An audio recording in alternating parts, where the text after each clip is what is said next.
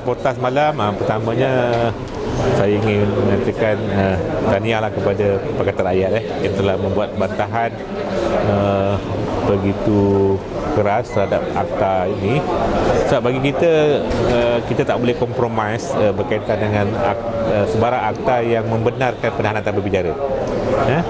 Ya, semalam kita minta supaya kerajaan sebelum uh, peringkat yang kuasa tu rujuk kepada select committee eh, biar kedua-dua pihak di parlimen daripada kedua-dua parti kita boleh bincang kan? Sebab kita dengan Malaysia Nasional ni kita bersetuju dari segi kita tentang terorisme.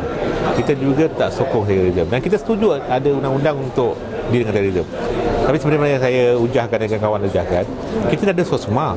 SOSMA ni satu akta yang memang ditubuhkan digubal untuk menangani isu terorisme dan dalam kes SOSMA ni bila kita dibicarakan dia tak macam kes, kes biasa.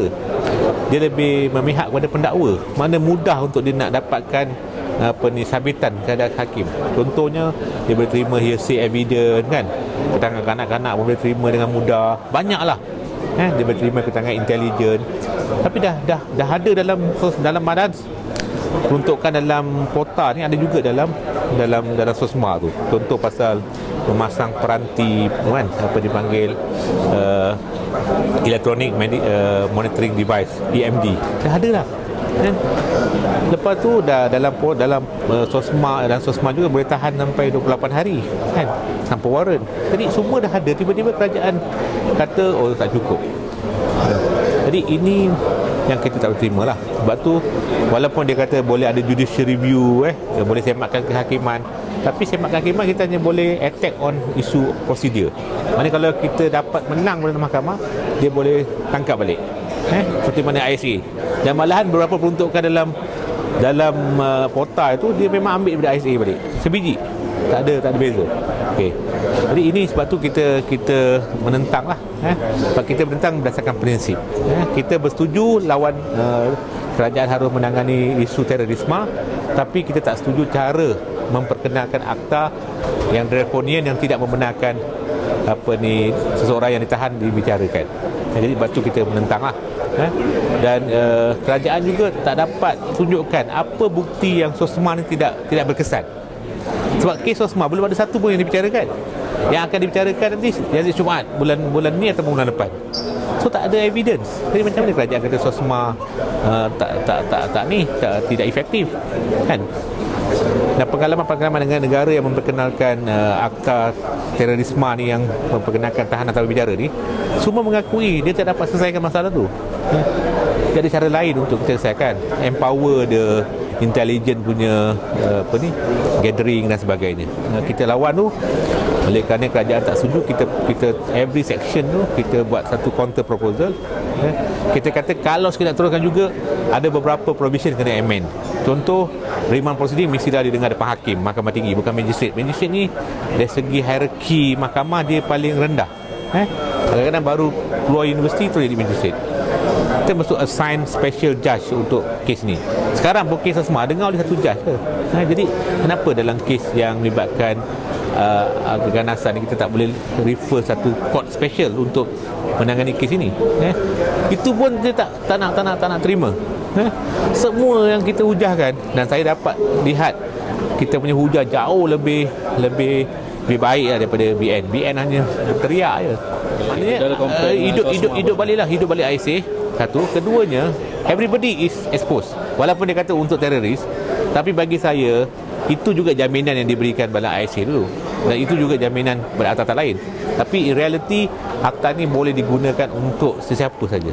Eh, sebab definisi terorisme ni sampai sekarang tidak tidak ada definisi apa definisi terorisme? Maksudnya pelaksanaan dia tu mewujudkan balik ISA ha, sebelum ni. Ha, sebab yang kita tak boleh terima dia kata sebab lepas tu contoh eh dia ada tubuhkan dia panggil uh, uh, enquiry officer.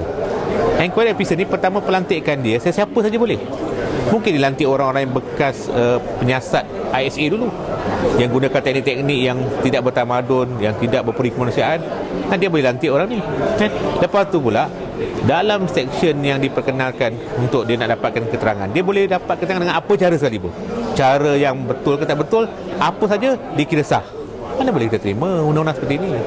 Akta Sultan ni dalam- lagi lah. Eh, saya pun heran kenapa kerajaan harus memperkenalkan Akta Sultan ini dengan memperkenalkan satu clause yang baru sesiapa yang ditahan di bawah Akta Sultan ni tidak boleh dijamin. Dia panggil unbailable. Unbailable ni untuk kes-kes yang serius. Contoh kes dadah. Serius. Dia unbailable. Eh? Kes-kes yang memang kes bunuh, kes yang memang kata orang tu hukuman dia pun serius. Kes ah, okey atas sultan ni pertamanya kerajaan dah janji nak nak nak nak, nak abolish, tak abolish satu. Keduanya dari segi pelaksanaan dia pun banyak kepada ahli politik. Saya boleh katakan kes atas sultan ni hampir majoriti kes tu melibatkan ahli politik. Dan ahli politik pula ahli politik pembangkang. Jadi kalau sekarang ni tak boleh bil, pertamanya adakah kita nak kata hukuman ni terlampau serius? Kan? Dia hukuman ni masih boleh denda lagi. Jadi macam mana kita boleh kata satu kesalahan yang tidak boleh dijamin? Sebab prinsip jaminan ni ialah untuk nak secure attendance supaya orang ada sebagai satu satu satu jaminan untuk hadir di mahkamah. Sebab tu dalam undang-undang pun jamin tak boleh tak tak tak, tak boleh tak boleh tinggi. Yang penting nak bagi orang datang dan ada penjamin. Itu je. Tiba-tiba kalau tak ada penjamin bermakna kita nak anggap orang ni berbahaya sangatlah. Sampai tak boleh di ni. Bayangkan kalau dia tak bersalah lepas tu. Tak boleh jamin lepas tu tak bersalah. Dah dah, dah, dah jalan hukum dah. Sebab tu prinsip jamin bukan untuk menghukum, untuk nak memastikan orang datang mahkamah je. Ni tak boleh jamin langsung. Memang saya tak tahulah. Kerajaan ni dah gila kot, dah gila kuasa. Dah, dah gila kuasa nak jadi negara jadi negara macam negara polis. Eh? Tak tahulah ni uh, ketua negara ni memang saya rasa ini mungkin sebahagian dari cadangan dia. Kan dia lebih tumpu kepada ahli politik daripada cari penjenayah-penjenayah yang yang sebenarnya